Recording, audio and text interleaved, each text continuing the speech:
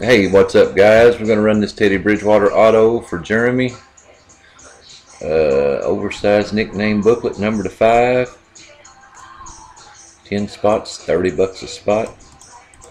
We'll copy our list. We're going to be live. The time is 2.53 p.m. here on the East Coast. Drop y'all in. Going to roll two dice. Must be a four or higher. We got a 7, 253, 38, 253, 37. Seven times. Good luck, gentlemen.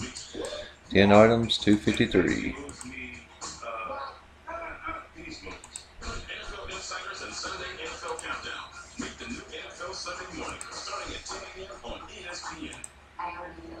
After six, we got Michelle on top, Michelle on the bottom. Dice is a seven. We're now at 254.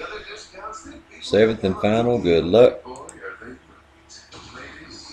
Shane Kelly. One spotter. Wow.